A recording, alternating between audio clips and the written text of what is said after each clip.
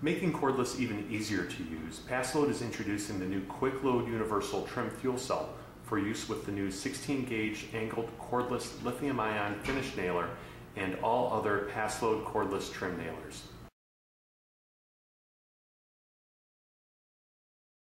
Loading the fuel cell in the new 16 gauge lithium ion finish nailer is quicker than ever using our new Quicklode fuel system.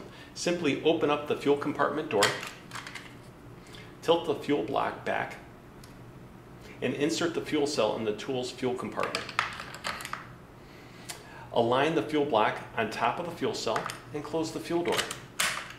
It's that easy, and you're ready to start nailing in just a few seconds.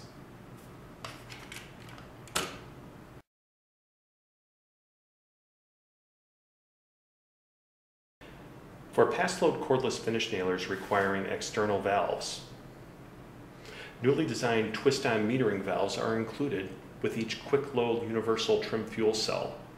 Just twist off the Quicklode adapter and twist on the external orange metering valve. When you hear the audible click, your fuel cell is ready to use. The new Quicklode Universal Trim Fuel Cell is just one of many new features of the new 16 gauge angled cordless finishing system.